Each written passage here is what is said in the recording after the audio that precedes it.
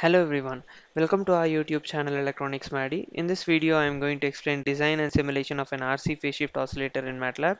In case you haven't subscribed to our channel, please do subscribe to it, only then you'll get the videos that we post regularly.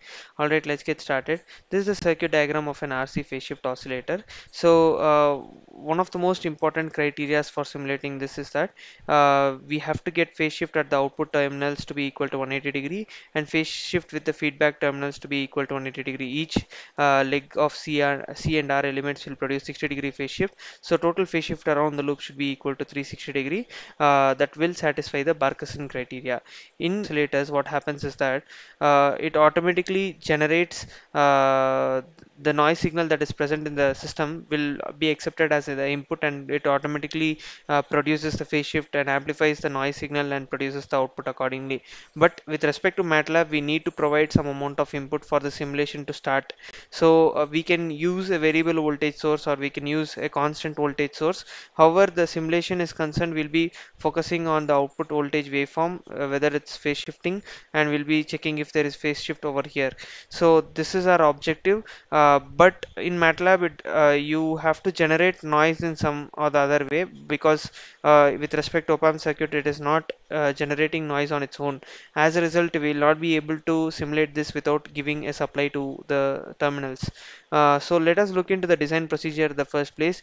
We are assuming IB max to be equal to 50 nanoamperes and I1 to be equal to 100 times IB max that is 50 microamperes and VCC is 12 volt at the first place we need to find the value of RF and RF value is given by V out sat by uh, I1. So substituting this value V out sat is given by VCC minus 1 that is 12 minus 1 11. So 220 kilo ohm. Consequently to find the values of R and C uh, at the first place we'll be finding R1 is equal to RF by 29 because the uh, open loop gain A uh, that is uh, product of A beta should be uh, if A in general the the value of a should be greater than uh, 29 so greater than or equal to 29 that's the reason why we have this formula. Uh, so substitute the values you'll be getting 7.5 kilo ohm. That is standard values that we have considered. And r is equal to r1 by 10 that is equal to 750 kilo ohm. And c is equal to 1 by 2 pi root r in root 6 into FR so you'll be getting 0.867 microfarad. So these are the values that we'll be considering in our simulation. And uh, as I told you we have to uh, give supply to the op-amp for initially for the circuit to turn on and then oscillations will be continuously produced. But uh, there isn't a feature uh, uh, you can program it such that it the supply turns off at some point of time. But what I will be doing is I'll be using a sinusoidal voltage source which continuously operates throughout the entire duration only uh, main uh, aspect is that we have to check if it is producing 180 degree phase shift here 180 degree phase shift here. That is our uh, main objective with respect to the simulation is concerned. All right let's go to matlab and start our simulation Alright, here we are in MATLAB. So click on Simulink library browser. At the first place, we need to uh, uh, search for a solver configuration block. This is one of the most important blocks for the simulation to take place. Without this block, you will not uh, uh get the simulation run because there will be some amount of error that it throws. So once it's uh, done, uh, you will have to search for a voltage sensor. So uh, search for a voltage sensor and it will be available right at the top. Add that block as well. We need an operational amplifier which which is basically the heart of our circuit so search for op amp and add that block as well we also need a resistor and a capacitor blocks individually. So search for resistor. Choose the ones that are there in blue uh, because these are the ones uh, that are used for op amp and uh, signal processing and DSP applications. We need an AC voltage source uh, just for it to turn uh, the like in order to energize the op amp because it does not has noise internally in the circuit. As a result we'll be doing that. And once uh, that is also added we will be requiring a capacitor so search for capacitor and add that block once this is also added um, we will be uh, requiring a Simulink converter. So search for Simulink converter and that will be available over here add that block as well. Uh, we also require a scope in order to see how the waveform looks like. So search for scope and you'll be getting it right at the top. So uh, we also need uh, electrical reference which is basically the ground for our circuit. Search for ground choose the ones that are there in blue. So once this is done we'll be placing them in respective positions so that uh, we can get started off with our circuit connections according to the circuit diagram.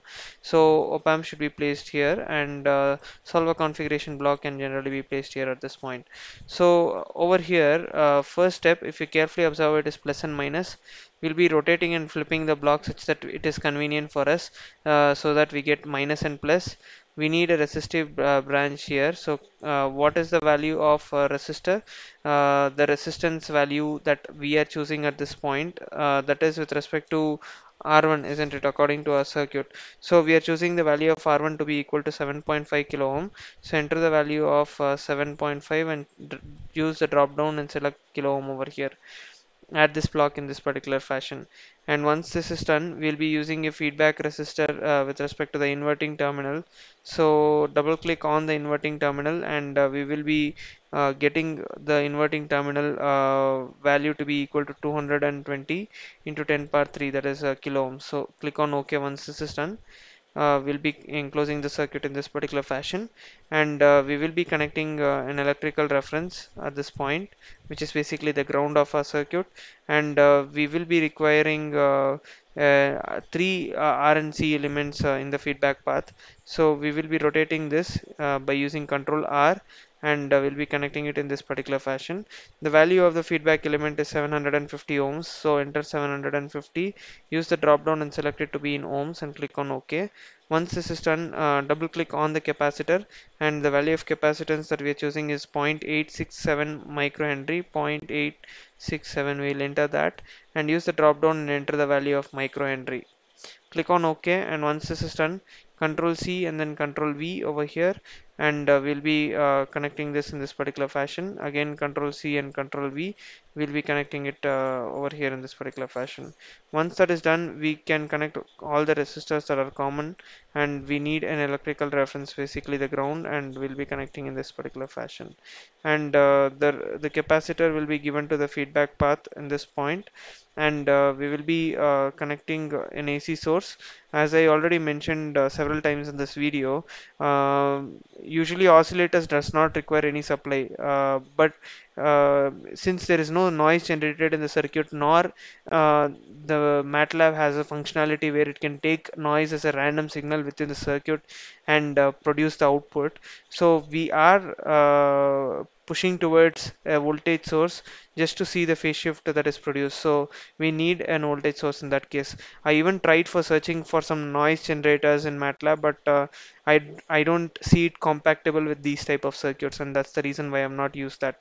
So Simulink converter is basically required in order to uh, these voltage sensors are physical quantities and they need to be converted in a form that is suitable for MATLAB. As a result we'll be using that.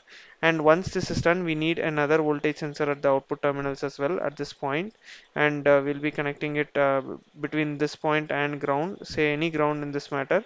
Uh, so we need another Simulink converter. So we'll be copy pasting this that is control C and control V over here and we'll be connecting this in this particular fashion and the output is given at this point. So supply is given the output is given at this point and uh, consequently this should be uh, returned at this point isn't it? Uh, the feedback element. So we'll be connecting it in this particular fashion and uh, the voltage source will be connected here and uh, the voltage measurement pro that is a voltage sensor is connected in this particular fashion. So solver configuration block can be connected in any particular portion of the circuit just such that it should be touching our circuit. That is one of the most important. Uh, so we need to uh, enter the voltage as well. Uh, we can enter the entering the supply voltage. Uh, let us say the voltage is 5 volt just to see the voltage and let us choose a frequency of 1000 hertz.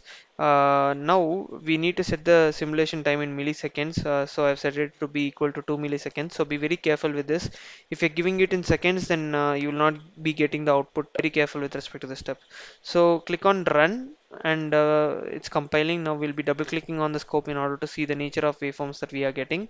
So uh, if you carefully observe we have used only voltage sensors at this point and this point. Let us use another voltage sensor over here so that uh, we'll be able to see uh, so we will be connecting uh, we need a Simulink converter block. So con control C control V we'll be connecting it in this particular fashion and we'll be giving it to the scope so once this is done we'll be clicking on run and we'll be checking uh, the output waveform uh, so we'll be double clicking on the scope in order to see the waveform Uh, so two signals are overlapped here. In order to see them properly, use this option.